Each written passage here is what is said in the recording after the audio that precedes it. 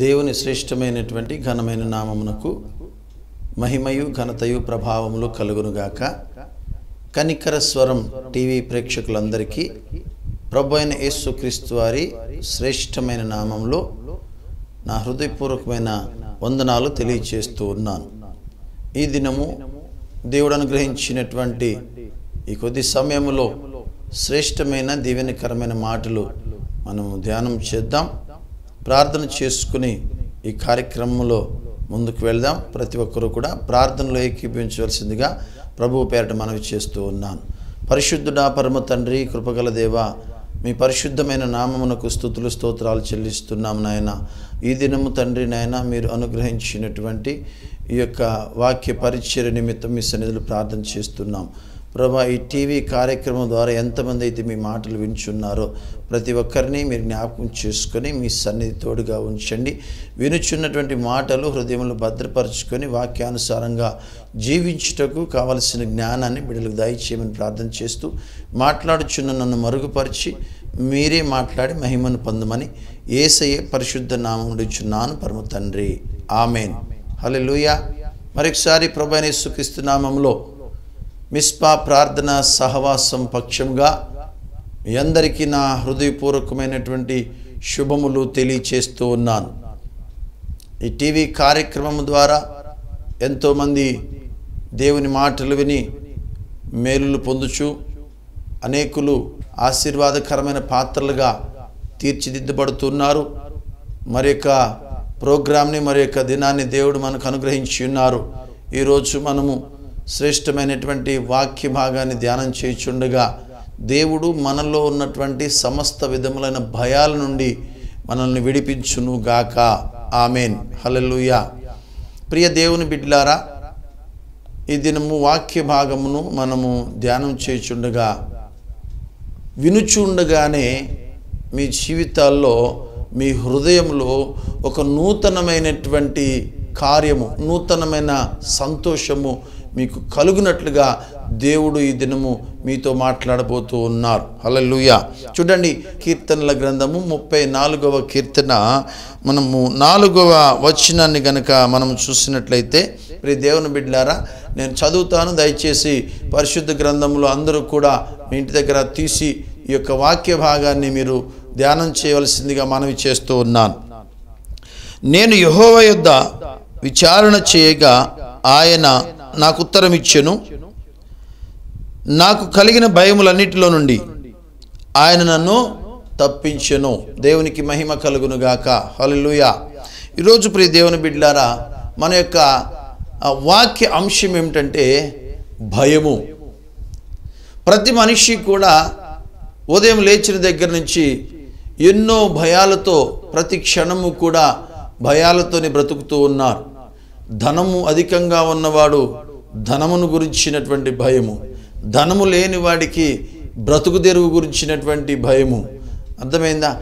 అన్నీ ఉన్నవాడికి సరి అయినటువంటి ఆ మార్గము లేక సరి అయినటువంటి ఆ మనశ్శాంతి లేక సంతోషము లేక కుటుంబంలో నెమ్మది లేక భార్య భర్తల మధ్యలో పిల్లల మధ్యలో సమాధానం లేకుండా ప్రతిదినము కూడా భయముతోనే బ్రతుకుతూ ఉన్నారు. ప్రియ దేవుని బిడ్లారా నా ఏసయ్య ఈ విధమైనటువంటి భయాల నుండి మనిషిని విముక్తి చేయటానికి సంతోషకరమైనటువంటి దీవెనకరమైనటువంటి జీవితాన్ని మనకు అనుగ్రహించటానికి ఏసయ్య ఈ లోకానికి రెండు వేల సంవత్సరాల క్రితము నరావతారిగా జన్మించారు అనే సత్యాన్ని మనం గ్రహించాలి. ప్రియ దేవుని బిడ్లారా కీర్తనకారుడు సెలవిస్తున్నటువంటి మాట ఏమిటంటే ప్రియ దేవుని బిడ్లారా నేను యహోవ యుద్ధ విచారణ చేయగా ఆయన నాకు ఉత్తరం ఇచ్చును నాకు కలిగిన భయములన్నిటిలో నుండి ఆయన నన్ను తప్పించెను. హలెలుయ ప్రియ సహోదరి సహోదరుడా ఈ దినము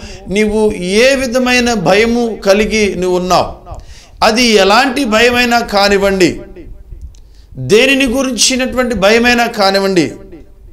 ఒక క్రైస్తవుడుగా రక్షణ పొంది దేవుని మాటలు అంగీకరించే మనసు కలిగినటువంటి మనం ఏం చేయాలంటే మన భయాలన్నిటి నుంచి మనము విడిపించబడాలంటే మనం ఏం చేయాలంటే యహోవ యొద్ద విచారణ చేయాలి. హల్లెలూయా. మనము మన దేవుని యొక్క విచారణ చేయాలి. పరిశుద్ధ గ్రంథంలో ఉన్నటువంటి వాక్య భాగాలు ప్రపంచంలో ఉన్నటువంటి అన్ని రకాలైనటువంటి మానవ జాతికి కూడా సమాధానం చెబుతూ ఉన్నది. హల్లెలూయా. కాబట్టి దేవుని బిడ్డలారా నీలో ఈరోజు ఎలాంటి భయం ఉన్నా కానీ ఎలాంటి వ్యతిరేకమైన పరిస్థితులు ఉన్నా కానీ నీకు ఆరోగ్య సంబంధమైన భయం ఉందా? ఆర్థిక సంబంధమైన భయం ఉన్నదా? కుటుంబం గురించినటువంటి భయం ఉన్నదా? లేకపోతే నీ శత్రువులు ఏమైనా నీ మీద దాడి చేస్తారనే భయం ఉన్నదా? నీకు ఎలాంటి భయం ఉన్నను? ఇక్కడ పరిశుద్ధ గ్రంథము నీకు ఒక ఒక సొల్యూషన్ చూపిస్తున్నది. నీకు ఒక పరిష్కారము పరిశుద్ధ గ్రంథము ద్వారా దేవుడు నీతో మాట్లాడుతున్నాడు. అదేమిటంటే నీవు నీ భయము కలిగి ఉన్నప్పుడు యహోవ యొద్ద విచారణ చేసే మనసు నీకు ఉండాలి హలెలుయా యహోవ యొద్ద దేవుని యొద్ద విచారణ చేసే మనసు నీకు ఉండాలి విచారించటం అనగా ఏమిటంటే ప్రతి దేవుని బిడ్డారా వాక్యమును మనము ధ్యానము చేయటం. హల్లెలూయా. దేవుని యొద్ద చూడండి యోహాను స్వార్థ ఏమని సెలవిస్తున్నదంటే వాక్యము దేవుని యొద్ద ఉండెను ఆ దేవుడే వాక్యమయుండెను.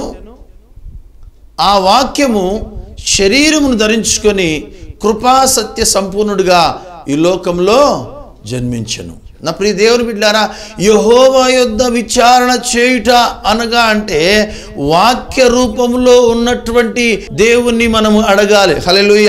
వాక్యము ద్వారా దేవుడు నీకు చూపిస్తున్నటువంటి ఆ సొల్యూషన్ యొద్దకు నువ్వు రావాలని ప్రభు పేరట నీకు మనవి చేస్తూ ఉన్నాను. నీకు ఎలాంటి భయమైనా ఉండొచ్చు ఎలాంటి వ్యతిరేకమైన పరిస్థితి అయినా ఉండొచ్చు కానీ నీకు ఉండవలసినటువంటి అలవాటు ఏమిటంటే నీకున్నటువంటి భయాల్లో నుంచి నువ్వు బయటికి రావాలి అంటే ప్రియ దేవుని బిడ్డలారా నీవు యహోవ యొద్ద విచారణ చెయ్యాలి.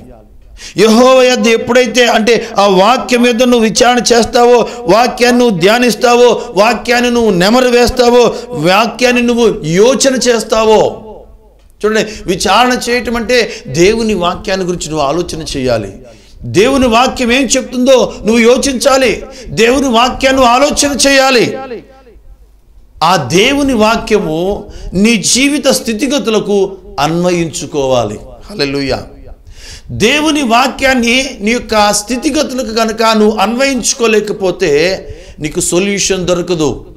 నీకు ఆన్సర్ దొరకదు ప్రియ దేవుని బిడ్డారా కాబట్టి నీకు ఎలాంటి భయం ఉన్నా కానీ చూడండి ప్రియ దేవుని బిడ్డారా తిమోతికి రాసినటువంటి రెండో పత్రికలో అపోస్తుడైనటువంటి పౌలు తెలియచేస్తున్నటువంటి మాట ఏమిటంటే మొదటి అధ్యాయం ఏడో వచ్చినములో దేవుడు మనకు శక్తియు ప్రేమయు ఇంద్రియ నిగ్రహము కలిగిన దేవుడు మనకి ఏమిచ్చాడండి శక్తియు ప్రేమయు ఇంద్రియ నిగ్రహము గల ఆత్మనే ఇచ్చెను గాని పిరికితనము కలిగిన ఆత్మను ఇవ్వలేదు. హలెలుయ నా ప్రియ సహోదరి సహోదరుడా ఈరోజు నువ్వు భయపడుతున్నావంటే దేవుని ఆత్మచేత నువ్వు నింపబడలేదేమో. దేవుడు మనకు అనుగ్రహించినటువంటి ఆదరణకర్త ఆయన పిరికి ఆత్మ కాదు. ఆయన శక్తి కలిగిన ఆత్మనిచ్చాడు. హలెలుయా ఆ పరిశుద్ధాత్మ దేవుని యొక్క శక్తితో నువ్వు నింపబడినప్పుడు సకల విధములైన భయము నుండి కూడా నువ్వు విడిపించబడతావు. హల్లెలూయా. కానీ చూడండి ప్రియ దేవుని బిడ్డ ఎందరు దేవుని ఆత్మచేత నడిపించబడుతున్నారో వారు దేవుని కుమారులు అనబడుదురని లేఖనాలు సెలవిస్తున్నాయి. దేవుని ఆత్మచేత గనక నువ్వు నడిపించబడితే అనగా దేవుని వాక్యమును యోచిస్తూ దేవుని వాక్యాన్ని నీ జీవితంలో అన్వయించుకుంటూ దేవుని వాక్యాన్ని ఆలోచిస్తూ గనక నువ్వు నడుస్తూ ఉంటే నిజముగా నువ్వు దేవుని ఆత్మచేత నడిపించబడే వ్యక్తివిగా ఉంటావు. హలెలుయ నువ్వు దేవుని ఆత్మచేత ఎప్పుడైతే నడిపించబడుతున్నావో నీకు కలిగిన భయాలన్నింటినీ కూడా దేవుడు నిన్ను విడిపిస్తాడు. హలో ఏ భయము కూడా నీ దరికి చేరదు. ఎల్లప్పుడూ కూడా సింహములే ధైర్యంగా ఉంటాం. ఆమెన్. హల్లెలూయా. కాబట్టి ఒక మాట నేను చెప్తాను వినండి ప్రియ దేవుని బిడ్డారా. మన జీవితంలో ఎప్పుడైనా కానివ్వండి నీకు భయము కలిగినప్పుడు నీకు వేదన కలిగినప్పుడు నీ జీవితంలో కష్టకాలంలో ఉన్నప్పుడు దేవుని ఎద్దును విచారణ చేయటం అది ఎంతో నీకు మేలు చేస్తుంది. విచారణ చేయటం అంటే ఏమిటి అంటే దేవుని బిడ్డారా మొదట నిన్ను గురించి నువ్వేమనుకుంటున్నావు? What about yourself your thinking నీ ఆలోచన నిన్ను గురించి నువ్వేమనుకుంటున్నావు? రెండు. చూడండి ప్రియ దేవుని బిడ్డారా నిన్ను గూర్చి నీకున్నటువంటి అభిప్రాయం ఏమిటి జాగ్రత్తగానండి ఒకటి నిన్ను గురించి నువ్వేమనుకుంటున్నావు? నిన్ను గురించి నీకున్నటువంటి అవగాహన ఏంటి? Third one. దేవుడు నిన్ను గురించి ఏమని యోచిస్తున్నాడు? నిన్ను గురించి దేవుని యొక్క అభిప్రాయం ఏంటి? హలే ఎందుకు ఈ మాట చెప్తున్నానండి? నీకు భయం ఉంది ఈ భయంలో నువ్వేమీ చేయలేవు. ఒక వ్యాపారం చేస్తున్నావా? నీకు భయం ఉన్నప్పుడు ఆ వ్యాపారం ముందుకు వెళ్ళలేవు. చేతి పని చేసుకుంటున్నావా? నీకు భయం ఉన్నప్పుడు చింత ఉన్నప్పుడు ఆ యొక్క చేతి పనిలో నువ్వు వర్ధిల్లలేవు. నువ్వు చేస్తున్న ఉద్యోగంలో కూడా నీ జీవితంలో భయం కలిగి ప్రతి విషయంలో భయంగా ఉంటున్నావా? నీకు కలిగిన భయములన్నీ కూడా నిన్ను కృంగదీసేస్తూ ఉంటాయి. కాబట్టి నీకు కలిగిన భయములన్నిటిలో నువ్వేం చేయాలంటే యహోవా యొద్ద ఏం చేయాలా? యోచించుకోవాలి. ఎప్పుడైతే మనము ఆ దేవుని యొద్ద విచారణ చేస్తామో అనగా ఆ వాక్యము ద్వారా మనం ఆలోచన చేస్తామో ఆ వాక్యం ఏం చేస్తుందంటే నిన్ను బలపరుస్తుంది. హల్లెలూయా. చూడండి మొదట నిన్ను గురించి నువ్వేమనుకుంటున్నావు? నిన్ను గురించి నీకు అభిప్రాయం ఏంటి? అది ఒక పక్కన పెట్టు.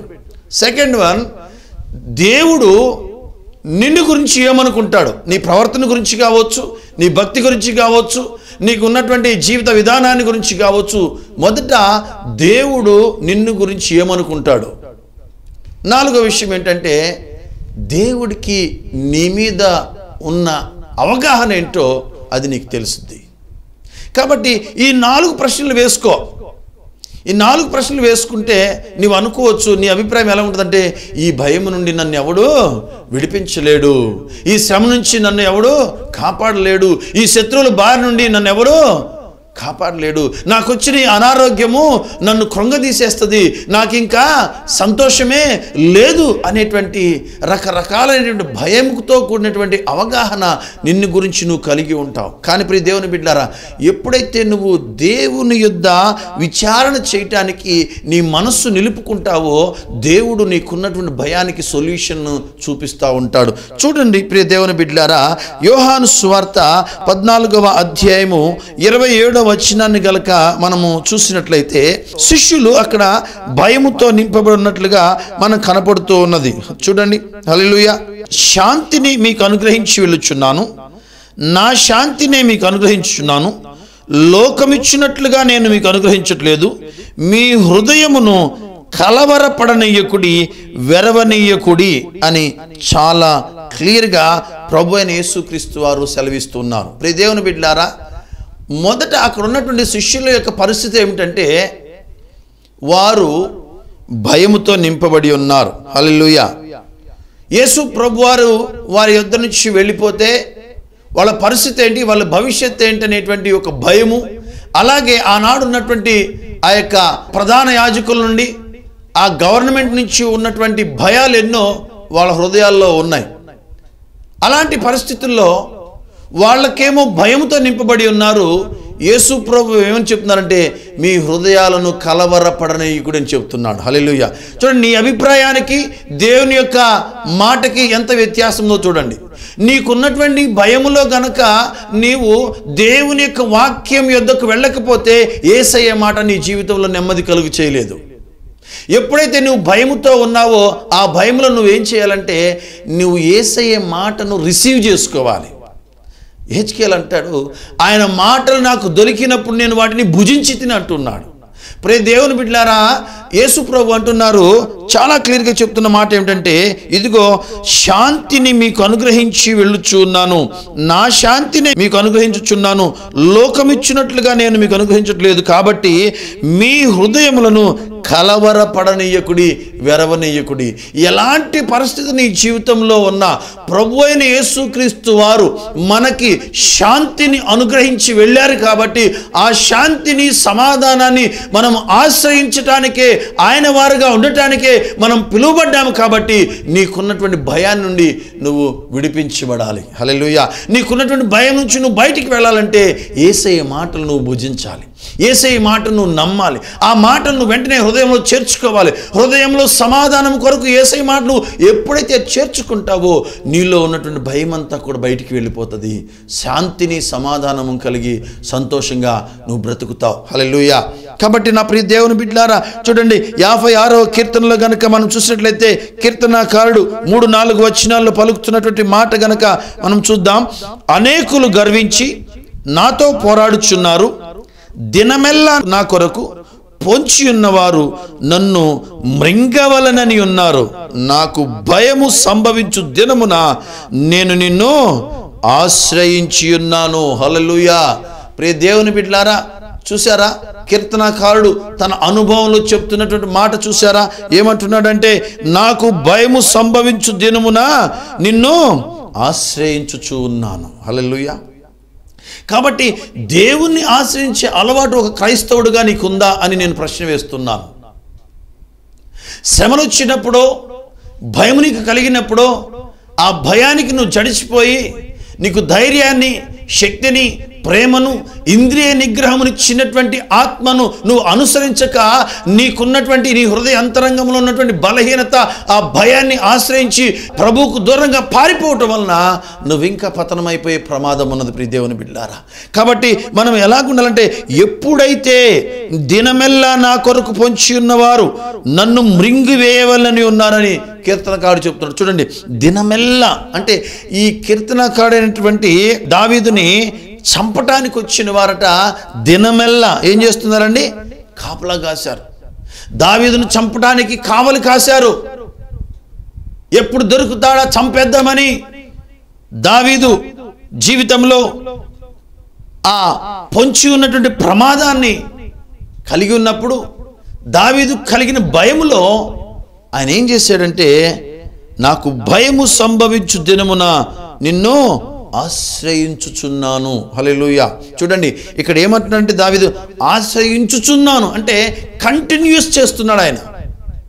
ఒకసారి భయం వచ్చింది. ఆ భయం నుంచి దేవుడు విడిపించాడు. ఆ తర్వాత వదిలిపెట్టేసి తన ఇష్టం వచ్చినట్టు బ్రతకలేదు. దావీదు ఎక్స్పీరియన్స్ ఏంటంటే తనకు భయము సంభవించిన దినమున ఆశ్రయించుచూనే ఉన్నాడు. హల్లెలూయా. ఓ క్రైస్తవ సహోదరి సహోదరుడా.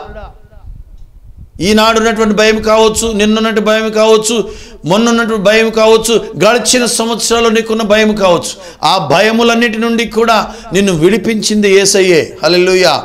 కాబట్టి ప్రియ దేవుని బిడ్డారా ఈరోజు నువ్వు ఎలాంటి భయం కలిగి ఉన్నా కానివ్వండి నీకు ఉండవలసినటువంటి మంచి లక్షణం ఏమిటంటే నీకు భయము సంభవించు దినమున దేవుడని యహోవాను నువ్వు ఆశ్రయించవలసినటువంటి అవసరము ఉన్నదని వాక్యము సెలవిస్తున్నది. హలెలుయ చూడండి నీకు భయము ఒక పక్కన ఉన్నది వాక్యం ఏమని చెప్తున్నది? నువ్వు యహోవాను ఆశ్రయించమని చెప్తున్నది. ఎప్పుడైతే నువ్వు వాక్యాన్ని ధ్యానం చేస్తావో వాక్యాన్ని నీ హృదయంలో నింపుకుంటావో నువ్వేం చేస్తావంటే నీ భయాన్ని ప్రక్కన పెట్టేసి యహోవ వాక్యాన్ని ఆయన చెప్పిన ఆదరణకరమైన మాటలను నీ హృదయంలో నింపుకోవాలి. ఎప్పుడైతే నీ హృదయంలో నింపుకుంటావో నీకున్నటువంటి భయం అంతా కూడా బయటికి వెళ్ళిపోతుంది. నీ జీవితంలో శాంతి సమాధానము కలిగి నువ్వు జీవిస్తావు. హలెలుయ నువ్వు భయాన్ని అధిగమించాలంటే నీకు భయము కలిగిన దినమున యహోవాను ఆశ్రయించాలని లేఖనాలు సెలవిస్తున్నాయి. ప్రతి దేవుని బిడ్డారా ఏషియా ప్రవక్త ద్వారా దేవుడు నలభై ఒకటవ అధ్యాయము పదవచనంలో సెలవిస్తున్నటువంటి మాట ఏమిటంటే ప్రియ దేవుని బిడ్డారా చూడండి. నీవు నా దాసుడు నేను నిన్ను ఉపేక్షించక ఏర్పరచుకుంటున్ననియు నేను నీతో చెప్పి ఉన్నాను. నేను నీకు తోడై ఉన్నాను. భయపడకుము. నేను నీ దేవుడినై ఉన్నాను. దిగులు పడకము. నేను నిన్ను బలపరుతును. నీకు సహాయము చేయవాడును. నేనే నీతి అను నా దక్షిణ హస్తముతో నిన్ను నేను ఆదుకొందును. హలెలుయ దేవుని బిడ్డారా నిన్ను గురించి నువ్వేమనుకుంటున్నావో నువ్వు ఆలోచన చేసుకున్నావు కదా? నీకొక భయం ఉన్నది నీకొక దిగులున్నది నీకొక బలహీనత ఉన్నది. అది నీ అభిప్రాయం.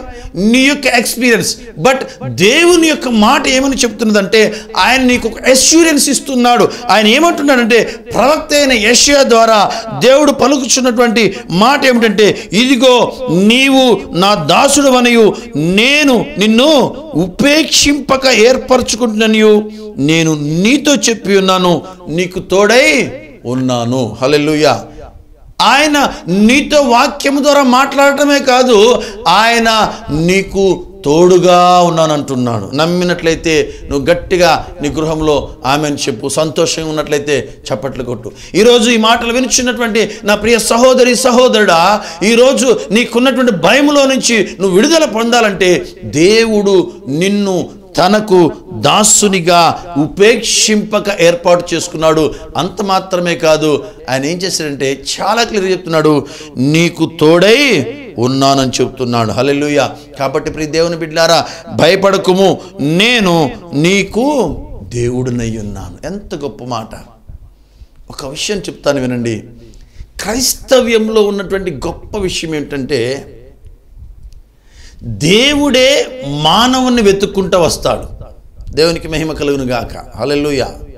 కానీ అదర్ దాన్ క్రైస్తవ విశ్వాసంలో ఉన్నటువంటి ఆ యొక్క మతాలలో ఉన్నటువంటి విషయం ఏమిటంటే మనిషే దేవుణ్ణి వెతుక్కుంటూ వెళతాడు. నువ్వెంత ధన్యుడవండి? దేవుడు నీ ఎద్దకు వచ్చి నేను నీకు తోడై ఉన్నానని చెప్తున్నాడు. ఈ పరిశుద్ధ గ్రంథము ద్వారా ఆయన ప్రేమను నీకు ప్రకటిస్తున్నాడు. నువ్వు భయపడొద్దని చెప్తున్నాడు నేను నీకు తోడై ఉన్నాను నీకు దేవుడినై ఉన్నానని చెప్పి ఆయన వాక్కు నీ యుద్ధకు వచ్చి నిన్ను పలకరిస్తున్నది హల్లెలూయా. అందుకే కీర్తనకారుని ద్వారా దేవుడు నూట ఏడవ కీర్తనలో మాట్లాడిన మాట ఏమిటంటే ఇరవై వచనము ఆయన తన వాక్కును పంపి వారిని బాగు చేసెను వారు పడిన గుంటలో నుంచి ఆయన వారిని లేవనెత్తును. హల్లెలూయా. దేవుడు మనము పడిన గుంటలో నుంచి మనల్ని లేవనెత్తే దేవుడు మన దేవుడు. హల్లెలూయా. ఆయన తన యొక్క స్వరాన్ని తన యొక్క వాక్కును పంపించి నిన్ను బాగు చేసే దేవుడు ఆయన. నా ప్రియ సహోదరి సహోదరుడా ఈరోజు నీవు ఈ మాటలు విరుచున్నటువంటి ఆ యొక్క సమయాన్ని నువ్వు జాగ్రత్తగా శ్రద్ధగా విను. ఈ టీవీ ద్వారా నీవు ఈ మాటలు విరుచు ఉండగానే ఈ స్వరము ద్వారా ఈ టీవీలో నుంచి వస్తున్నటువంటి శబ్దము నీ జీవితాన్ని బాగు చేయబోతున్నది. నమ్మినట్లయితే సంతోషంగా దేవునికి స్తోత్రాలు చెప్పు.